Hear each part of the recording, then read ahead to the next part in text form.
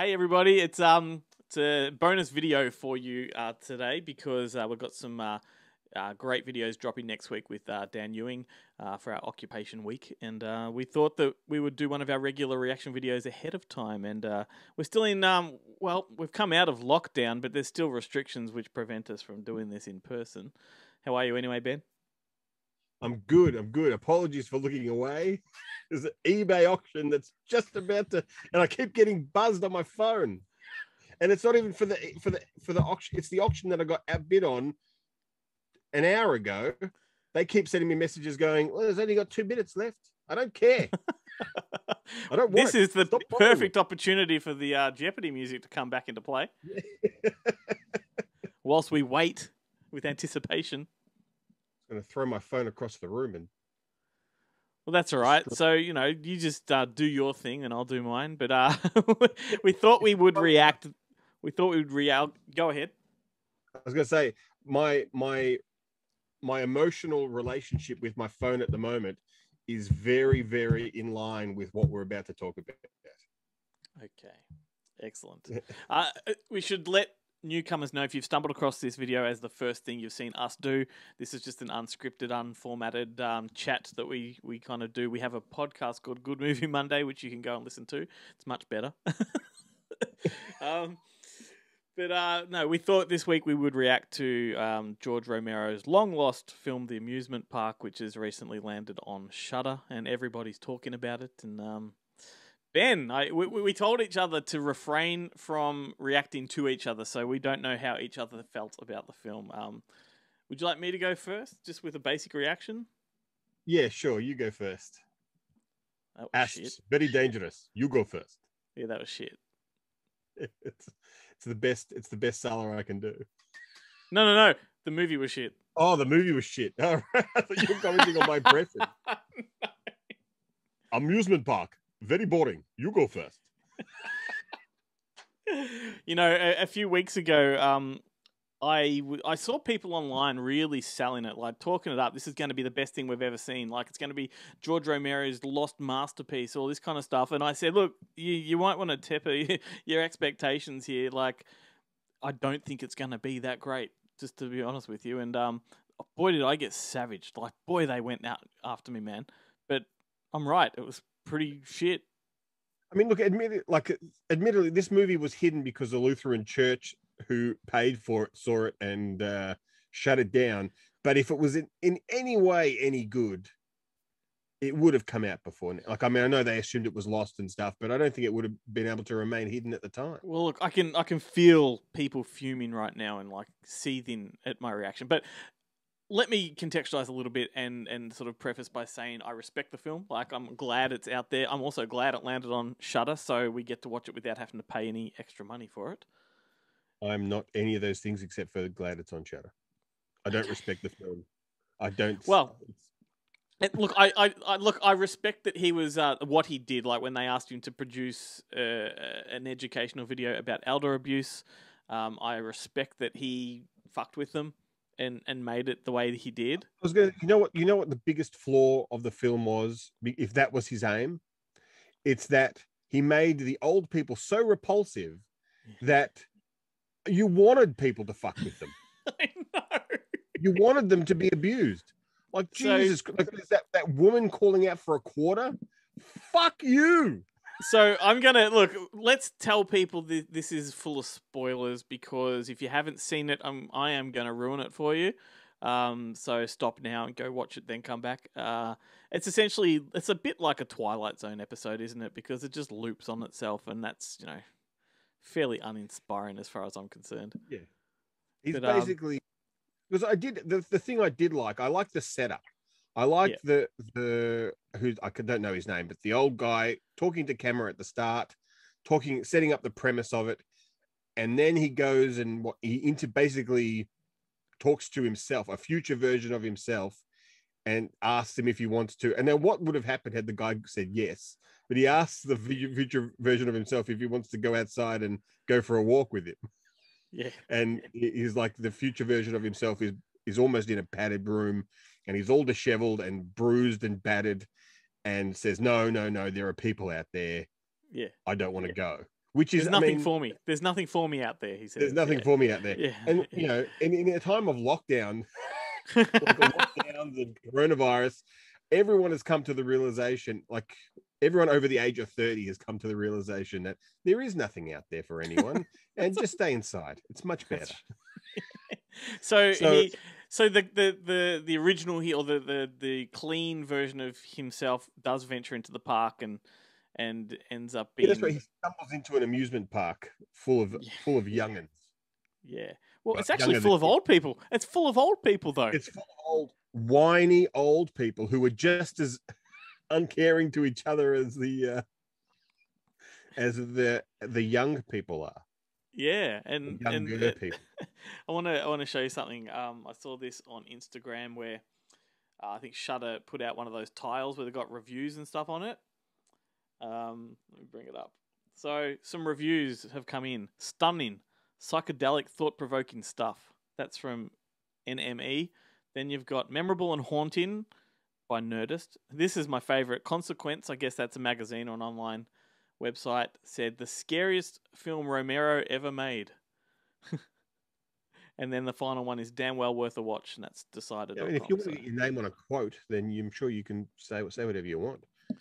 Yeah, uh, the movie itself, like, it's not even a movie. The um, the the educational, or what what what would you call it? It's a freaking um, public service announcement. Yeah, I mean, I'm going to jump on the Good Movie Monday uh, Instagram and post a, a review tile saying the greatest geriatric horror film of all time, and just see what happens. I don't mean it. I publicly stated right here that it's complete horseshit. Yeah. But uh, let's see if they pull that quote. Yeah. but uh, like, when was this made? This was made after he had done Night of the Living Dead, but before he had made anything else notable. I think he did one or two films after after Night of the Living Dead that weren't horror and didn't really do much. And so this was right before the Crazies, I think. So Right. he's still a young, he's still a youngin. Um, I don't know. Like, I mean, I, I do, I did kind of appreciate the tone of it, but um, it, it just felt so fucking pointless. I just think it was, you know, fun. It it is funny that it's Romero. I thought it was. It was just way too obvious. Like that's the problem. There is absolutely zero subtext in this film. It is the text. Well, and it's all metaphorical, isn't it? And Well, it's uh, not even oh, that much of a metaphor. Like it's not a metaphor because it is. It is the thing.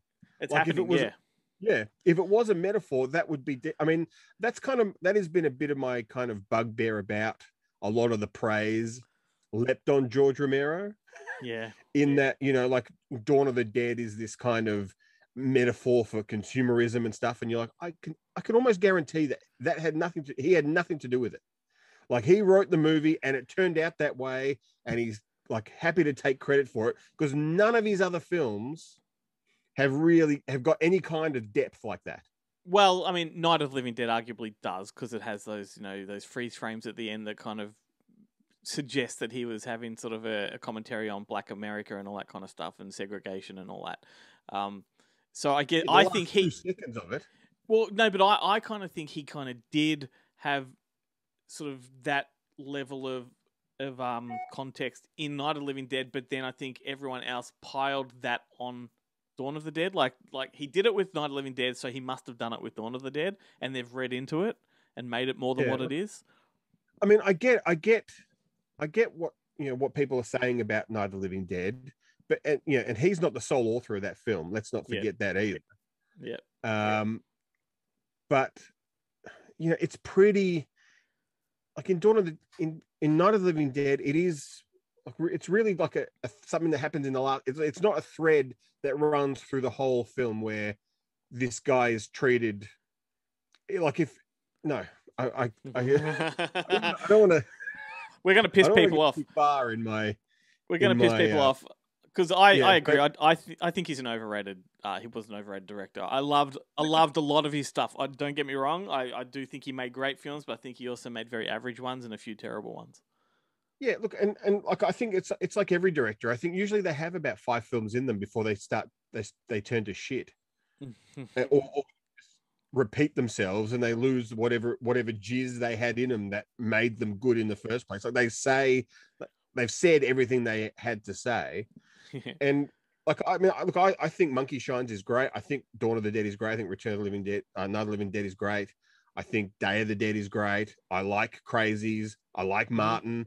I Mhm. like a lot of his films, but they're not exactly uh, a roadmap to cure all of- all of society's ills. you know, like they just- They just are what they are. And Yep. you know, this movie kind of to me is like proof that he is way too obvious for a lot of the credit that he's been getting over the years. And it's why the last like Survival of the Dead and Diary of the Dead, all those last ones that he had anything to do with have been a bit ordinary. yeah. How's um how's Um, that auction going? I just want it. That was that little beep. I don't know if the beep I comes through, so. I just, I just want it. Well, uh, don't yeah, contain your excitement there. Yeah. it's uh, Revenge, a movie with uh, Jackie Collins. No, Jackie Collins. Um, no, it is Jackie Collins. No, what's her name? Collins, Collins? The, the one who's in all of the Joan Collins. Yeah. Joan Collins. It's called Revenge.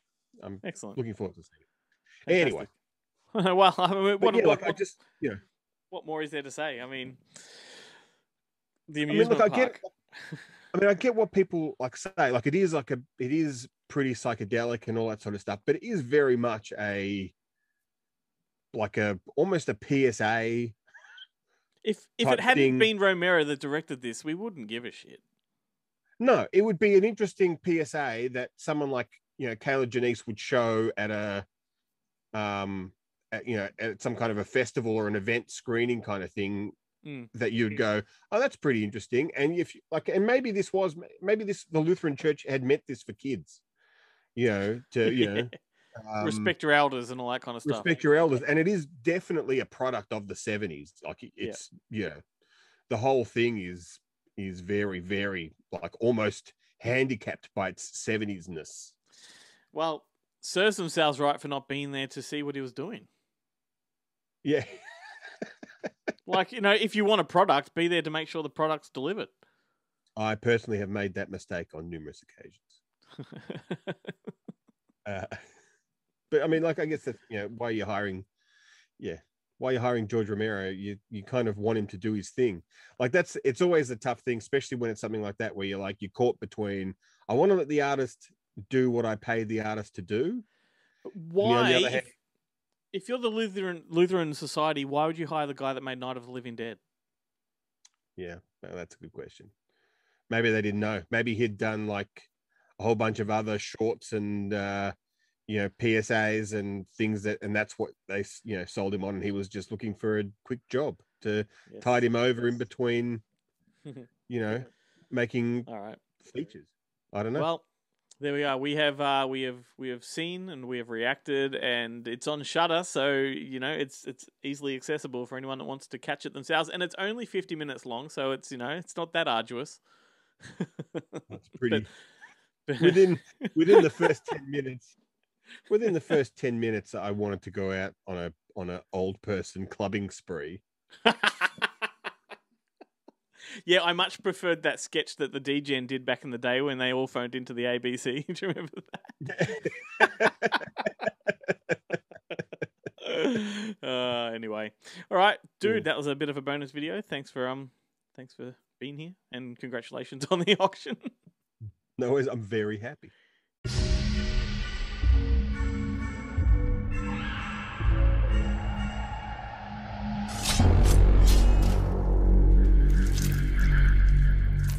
Ah, two young lovers. You want your fortune told. We want to see what our life is going to be like What part of life? when we get old. Are you sure? Yeah. You must see it all to the end. Sure. There's nothing outside. I'm going outside anyway. There's, there's nothing outside. Nothing. One of these times, the door will open in your life, and you will step into the amusement park. Oh, no, it's fun. You'll like it. You'll really like it. Full of hope, anticipation for the future, and curiosity for what you will find there.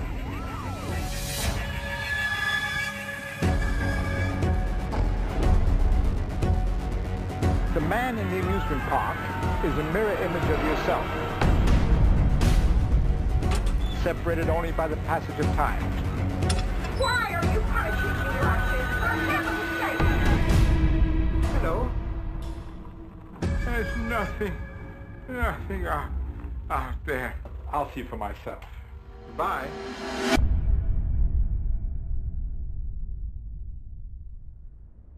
I'll see you in the park someday. Mate, that was great. I'm glad you hated it.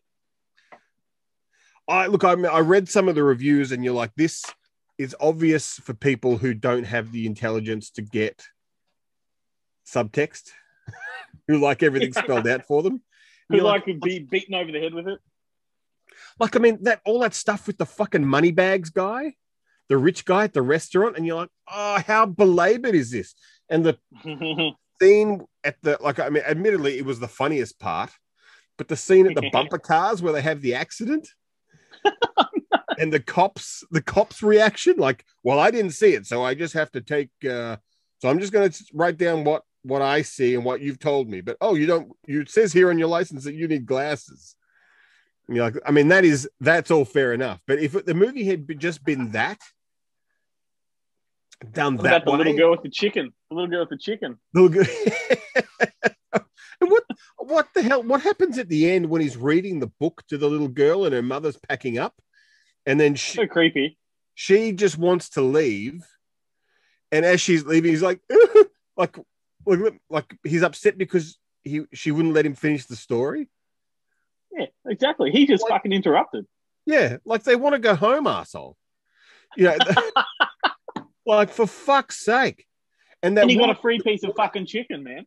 Yeah, and that woman with the quarter. Like, I need to make a phone call. Won't somebody help? Like, like it's no one else's responsibility to give you fucking 15 cents, 25 cents to make a phone call. Like, fuck, go home. go home and use the phone there, you fucking. like, it's just unbelievable. Like, the, the fucking entitlement, the entitlement that these old people fe- felt because they're old and slow. It just made me like watching it made me furious. Like I mean, I, Right. like I get that it's supposed to be a metaphor for fucking old people in society in general, but there's a fucking reason why young people are, are fucking roll their eyes when they have to deal with old people, because fucking hell, and, and you've got you've got there's literally you've got two choices when dealing with them. It's either condescension or eye rolling, because what else is left? Uh, Rest everything else is just painful. Well, apparently beating. You can beat them. Yeah. I just I just like to wash them in kerosene. that kills all. You can go to bed, or I will make you go to bed.